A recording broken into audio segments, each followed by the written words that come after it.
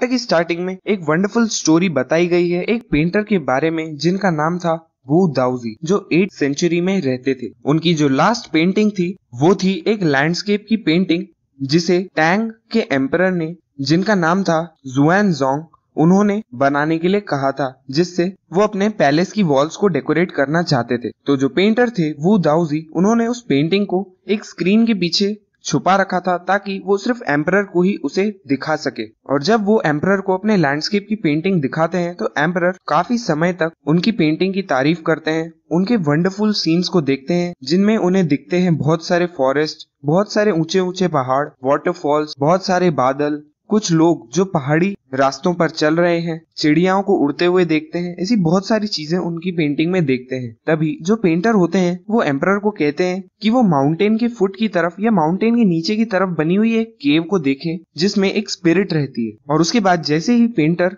Clap करते हैं, वो केव का जो दरवाज़ा होता है, वो एकदम से खुल जाता है। इसके बाद वो कहते हैं कि इस केव के अंदर जो है, वो बहुत ही मैग्निफिसेंट है, बहुत ही मार्वलस है और उसे हम शब्दों में नहीं बता सकते हैं। तो इसीलिए मैं आपको अंदर जाने का रास्ता दिखाता हूँ। और ऐसा कहते ही वो पेंटर जो है, वो केव के अंदर चला जाता है और जैसे ही वो अंदर जाता है, जो एंट्रेंस होती है केव की, वो बंद हो जाती है। और इससे पहले जो एम्पर था, जो बिल्कुल शौक में था, वो कुछ कहते भी उससे पहले ही वो जो पेंटिंग थी, वो उस दीवार से एकदम गायब हो गई और उस दीवार पर वो दाउजी के एक ब्रश का एक निशान तक नहीं बचा था। और उस समय के बाद वो आर्टिस्ट जो थे, उनको इस दुनिया में किसी ने भी नहीं देखा था। इसके बाद ऑथर हमें बताते हैं कि इस टाइप की जो स्टोरीज होती है, वो चाइनीज़ क्लासिकल एजुकेशन में बहुत ही इम्पोर्टेंट पार्ट प्ले करती है और जो कन्फ्यूशियस और जुआंगजी की बुक्स हैं, जो कि वहाँ के फिलोसफर्स हैं। इस टाइप की स्टोरीज उनकी बुक्स में बहुत सारी है। इस टाइप की स्टोरीज जो है, ये टीचर्स को हेल्प करती है, जिससे वो अपने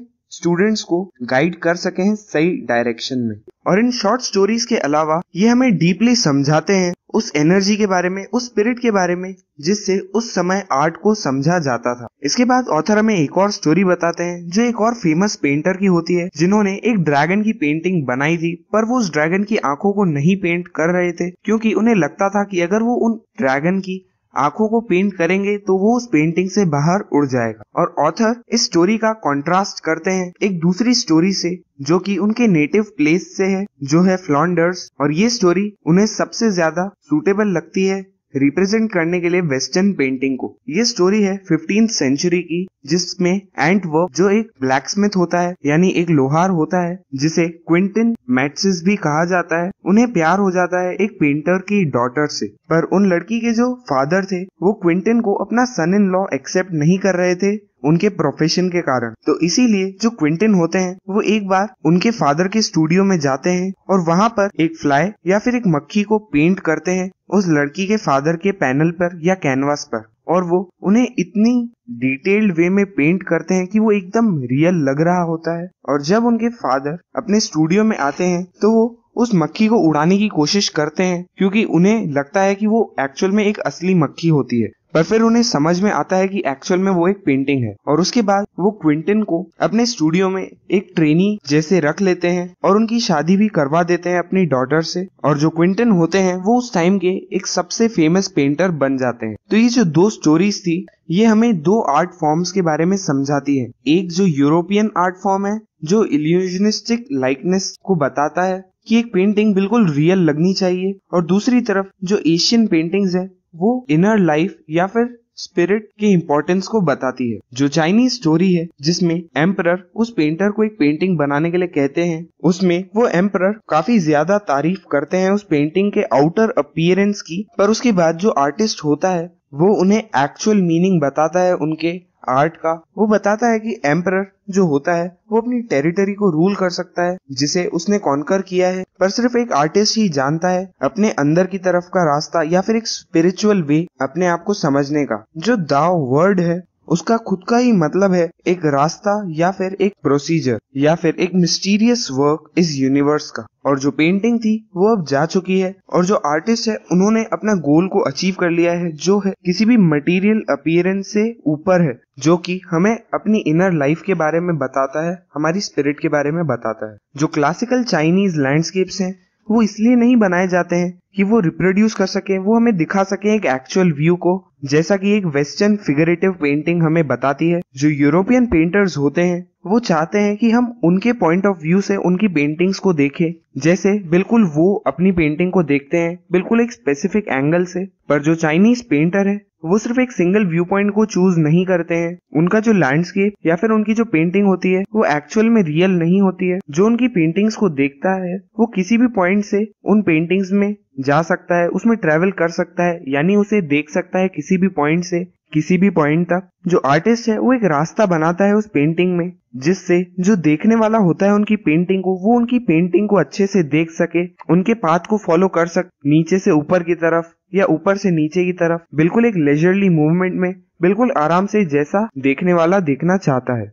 और ये जो कॉन्सेप्ट है, वो और ज़्यादा इफ़ेक्टिव हो जाता है एक हॉरिजॉन्टल स्क्रॉल के केस में ये एक ऐसी पेंटिंग होती है जिसे हम धीरे धीरे खोलते हैं एक सेक्शन से दूसरे सेक्शन की तरफ़ और उसे रोल करते हैं दूसरे सेक्शन में जाने के लिए। ऐसा करने से हम एक टाइम का डायमेंशन भी ऐड कर देते हैं उस पेंटिंग को देखते समय और ऐसा किसी भी दूसरे फॉर्म ऑफ़ पेंटिंग में नहीं देखा जाता है। और इस टाइप की पेंटिंग्स में एक्टिव पार्टिसिपेशन भी ज़रूरी होता है व्यूअर्स का और वो खुद ही डिसाइड करते हैं कि उन्हें कितने पेस से आगे ट्रेवल करना है उस पेंटिंग में, आगे देखना है उस पेंटिंग को। और इस टाइप का पार्टिसिपेशन जो होता है ऐसी पेंटिंग्स को देखते समय, वो physical as well as mental होता है, जिसमें वो धीरे धीरे पेंटिंग के सेक्शंस को खोल रहा है और साथ ही में आराम से उसे उस पेंटिंग को समझने का मौका मिल रहा है। जो चाइनीज़ पेंटर्स होते हैं, वो ये नहीं चाहते हैं कि आप उनकी आँखों से उस पेंटिंग को देखो, या फिर उनके नज़रिए से उनकी पेंटिंग्स को देखो, पर वो चाहते हैं कि आप उनके माइंड में जाकर देखो, ये समझो कि उन्होंने इस पेंटिंग को क्यों बनाया है, और ये समझें कि वो इस पेंटिंग से उन्हें क्या समझाना चाहते हैं। जो लैंडस्केप होता है, वो एक स्पिरिचुअल और कॉन्सेप्चुअल स्पेस है, वो कुछ ना कुछ उस लैंडस्केप से हमें समझाना चाहते हैं। और ये जो कॉन्सेप्ट है, वो उसे एक्सप्रेस करते हैं शान शुई के नाम से, जिसका एक्चुअल मीनिंग है माउंटेन वाटर और इन दोनों को ही साथ में यूज़ किया जाता है रिप्रेजेंट करने के लिए लैंडस्केप वर्ड को. और जो लैंडस्केप होता है, उसमें दो से ज़्यादा एलिमेंट्स होते हैं इमेज के, जो रिप्रेजेंट करते हैं दो कॉम्प्लीमेंट्री पोल्स को, जिसका मतलब है कि वो दोनों ही एक दूसरे के बिना अधूरे हैं, वो एक दूसरे को कंप्लीट करते हैं। और यही रिफ्लेक्ट करता है दाओस्ट व्यू ऑफ़ यूनिवर्स को, जिसमें जो माउंटेन है, वो यांग है, जो कि ऊपर की तरफ़ जा रहा है हेवन की तरफ़, जो स्टेबल है वार्म है ड्राई है, क्योंकि वो सन में है। और जो दूसरा पार्ट है, वो है वाटर जिसे यिन कहते हैं, जो कि हॉरिजॉन्टल है, हमारी अर्थ पर रेस्ट कर रहा है, जो कि मॉइस्ट है फ्लूइड है, और कूल है। जो यिन है, वो फेमिनाइन एस्पेक्ट को रिप्रेजेंट करता है, इस यूनिवर्स की एनर्जी को, और जो यांग है, वो मेस्कुलाइन और एक्टिव पार्ट को रिप्रेजेंट करता है इस यूनिवर्स के। और इन दोनों के बीच में जो इंटरेक्शन होता है, वो ही फंडामेंटल नोशन है फंडामेंटल चीज़ है दाविज्म की। और जो सबसे कॉमन चीज़ है, जो बार बार अनदेखी कर दी जाती है, वो है जो थर्ड एलिमेंट है, जो कि है द मिडिल वॉइड और ये वो जगह है, जहाँ इन दोनों का इंटरेक्शन होता है, जिसे हम कंपेयर कर सकते हैं एक योगिक प्रैक्टिस से प्राणायाम, जिसे हम कहते हैं, जिसमें हम ब्रीद इन करते हैं रिटेन करते हैं अपनी ब्रीथ को और ब्रीद आउट करते हैं। यानी सांस अंदर लेते हैं, सांस को रोक के रखते हैं, फिर सांस बाहर की तरफ़ छोड़ते हैं। और जब हम अपनी सांस को रोकते हैं, वो ही ये मिडिल वॉइड है जहाँ पर मेडिटेशन एक्चुअल में होती है। और अगर हम इस स्टेप को हटा दें और सिर्फ़ ब्रीद इन या ब्रीद आउट करें तो कोई मेडिटेशन नहीं होती है। इसीलिए ये बहुत ज़्यादा ज़रूरी है। और यही हमें इम्पोर्टेंस बताता है उस अनपेंटेड स्पेस का, जो कि एक चाइनीज़ लैंडस्केप में होती है, जिसके बिना एक चाइनीज़ लैंडस्केप अधूरा होता है। और ये वही जगह है, जहाँ पर ह्यूमंस का मेन रोल होता है। ये वो स्पेस है हेवन और अर्थ के बीच में। और जो ह्यूमंस होते हैं, वो ही इन दोनों जगहों के बीच में कम्युनिकेशन का एक साधन होते हैं। इस यूनिवर्स के दो पोल्स के बीच में, जो है हेवन और अर्थ और इसीलिए जो ह्यूमंस है, उनकी प्रेजेंस का काफ़ी इम्पोर्टेंस है। और जो फ्रेंकोइस चैंग होते हैं, वो ह्यूमंस को the eye of the landscape कहते हैं, वो ही है जो एक्चुअल में इन लैंडस्केप्स की आँखें हैं। एक इम्पोर्टेंट पार्ट है इस लैंडस्केप का, और ह्यूमंस वो नहीं है जो इन बड़े बड़े पहाड़ों के बीच में कहीं खो जाए या ऑप्रेस हो जाए। तो यहाँ तक की जो स्टोरी थी, वो एक एक्सर्प थी, या एक छोटा सा पार्ट थी landscape of the soul ethics and spirituality in Chinese painting का। और इसके बाद ऑथर हमें एक आर्टिकल के बारे में बताते हैं जिन्हें बृंदा सूरी ने लिखा था हिंदुस्तान टाइम्स के लिए 28 अगस्त 2005 में, जिसकी हेडिंग है गेटिंग इनसाइड आउटसाइडर्स आर्ट। इसमें बताया गया है, जब फ्रेंच पेंटर जीन डुबोफिट ने प्रेजेंट किया था कॉन्सेप्ट आर्ट ब्रट का, या फिर जो रॉ आर्ट होती है उसका 1940s में, उस समय पर जो अनट्रेंड आर्टिस्ट का आर्ट होता था, उसमें किसी का भी इंटरेस्ट नहीं होता था। और इसकी एक व्हील्ड बिगनिंग एक स्लो बिगनिंग के बाद ये आउटसाइडर्स आर्ट धीरे धीरे करके जो फास्टेस्ट ग्रोइंग एरिया बन गई इंटरेस्ट का कॉम्प्लीमेंट्री आर्ट में, वो भी इंटरनेशनली ये जो कैटेगरी है आर्ट की, जिसे आउटसाइडर्स आर्ट कहा जाता है, इसे डिस्क्राइब किया जा सकता है कि ये एक आर्ट है उन लोगों की जिनके पास कोई राइट नहीं है एक आर्टिस्ट बनने का, क्योंकि उनके पास कोई भी फॉर्मल ट्रेनिंग नहीं है आर्ट के बारे में.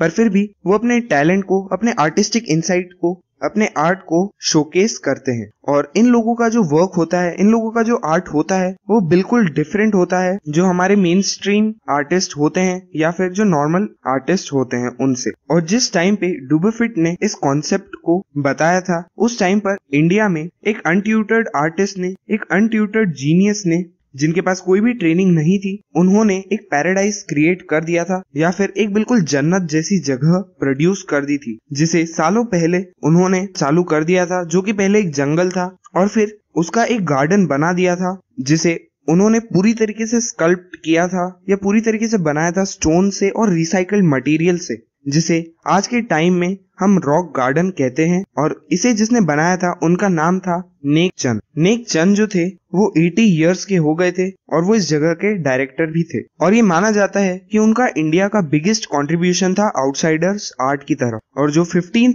इशू था, या जो फिफ्टीन प्रिंट था 2005 में रॉ विजन एक यूके की जो मैगजीन थी, जो कि बेसिकली आउटसाइडर्स आर्ट को पब्लिश करती थी, उन्होंने फीचर किया था नेक चंद को। और उनके रॉक गार्डन स्कल्पचर्स को as women by the waterfall के नाम से अपनी एनिवर्सरी इशू में या अपने एनुअल इशू में कवर पेज पर। और ये जो आर्ट ब्रंड या फिर जो रॉ आर्ट थी, ये ऐसे टाइप के वर्क्स थे या ऐसे टाइप के आर्ट थे जो कि बिल्कुल रॉ स्टेट में थे और अपने कल्चरल और आर्टिस्टिक इन्फ्लुएंसेस को बताते थे।